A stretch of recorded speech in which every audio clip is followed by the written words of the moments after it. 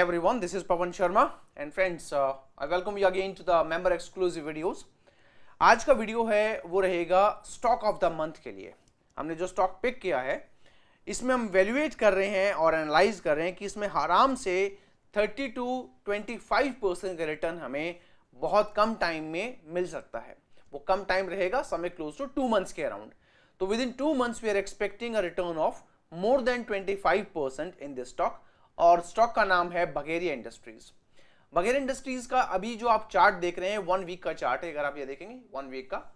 यहाँ पे इसका ये प्रीवियस हाई था और इसने एक पूरा का पूरा जो है, अगर ध्यान से देखें 2017 से लेके 2020 मिड तक मिड 2021 तक, इसने इस रो को क्लोज किया।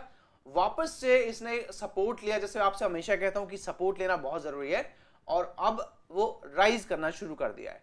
तो एक जो मेजर हर्डल था दैट वाज अराउंड 220 ये हर्डल क्रॉस हो चुका है और अब हमारे लिए जो टारगेट निकल के आ रहा है, वो आ रहा है 350 से लेके 400 के टारगेट आपको आराम से देखने को मिलेंगे इन बघेर इंडस्ट्रीज़ लेकिन अगर इसको आप टेक्निकली देखेंगे तो टेक्निकल्स में अब वन डे पे लेकर आ रहा हूँ मैं इसको तो वन डे के टाइम फ्रेम पे ये चार्ट आपको ऐसा दिखाई देगा।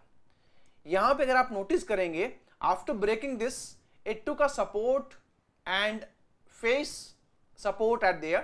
Resistance इसको यहाँ मिला, फिर से ट्राई किया, फिर से एक सपोर्ट मिला रेसिस्टेंस वहीं पे मिला और वापस से आके उसी पे रुक गया।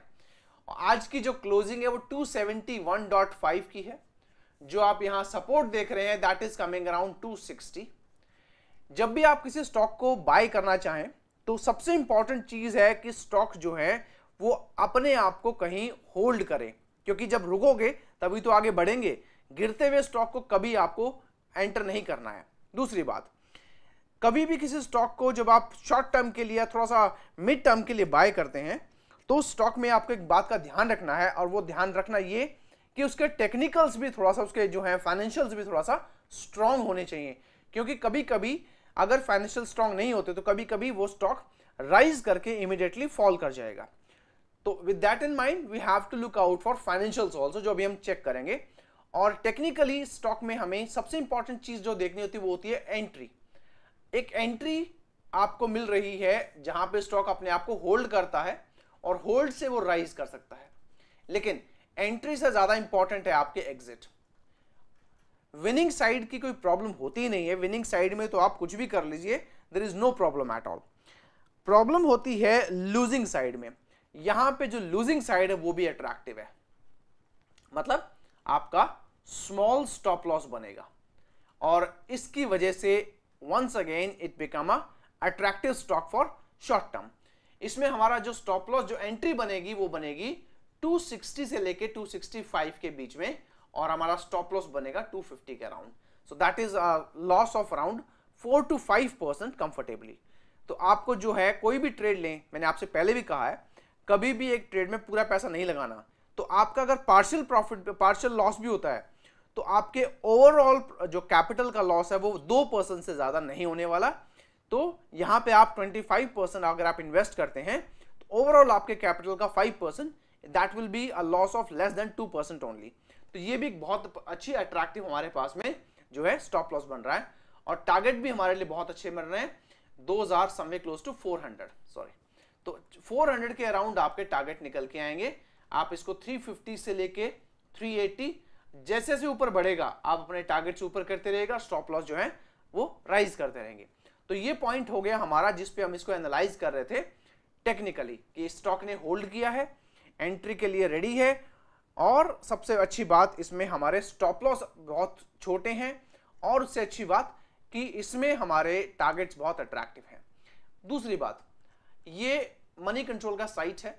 अगर आप इस पर जाएँगे और टाइप करेंगे बघेरे इंडस्ट्रीज़ तो बघेरे इंडस्ट्रीज़ के बारे में ये आपको इन्फॉर्मेशन प्रोवाइड करेगा। Strength which is good weakness थोड़ा सा कम है चेक कर लीजिएगा। अपॉर्चुनिटी काफ़ी अच्छी है। और अगर आप नीचे आते हैं तो ये उसका जो है, वो बैटम एक बार पढ़ लीजिएगा। Strong performance stock with consistence financial performance quality management stock technical momentum indicating good investor enthusiasm currently valued at good to expensive valuation तो ये एक अच्छी एक्सपेंसिव वैल्यूएशन पे है। एक्सपेंसिव मैं नहीं मानूँगा, क्योंकि हमारे पास में इसको लॉन्ग टर्म लेने का कोई इरादा नहीं है। तो ये एक गुड वैल्यूएशन पे खड़ा है, जहाँ से आपको जो है बाय अपॉर्चुनिटी मिलेगी।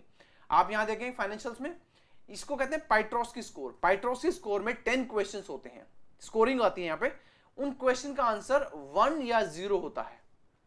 या तो आप उसका आंसर वन करेंगे या उसका आंसर आप ज़ीरो करेंगे। तो जितने ज़्यादा स्कोर अच्छे होते हैं, उतना अच्छा उस स्टॉक का फंडामेंटल भी स्ट्रांग होता है। तो पाइस्ट्रॉस स्कोर एवरेज है विच इज़ अराउंड फाइव क्योंकि हम इसको लॉन्ग टर्म के लिए नहीं देख रहे हैं तो ये भी ठीक है। और अगर आप शेयर होल्डिंग पैटर्न देखेंगे यहाँ पे तो promoter has increase holding from 70 percent to 70.07 percent in quarter कोई चेंज एफपीआई या एफआईआई होल्डिंग्स में नहीं था।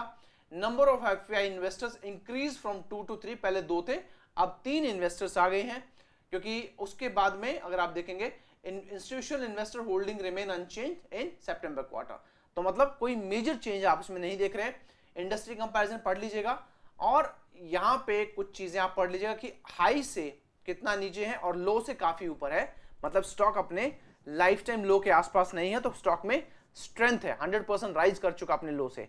और अपने 52 वीक्स हाई से 17 परसेंट नीचे है, क्योंकि हमारा वही टारगेट पहला है, जो अराउंड 20 परसेंट के अराउंड रहेगा। और जैसे उसको क्रॉस करता है, इसका डबल कर लीजिएगा तो हम टारगेट 40 परसेंट भी रख सकते हैं फ्रॉम दिस करंट स्टेज इसीलिए हमने स्टॉक को पिक किया है and this will be the stock of the month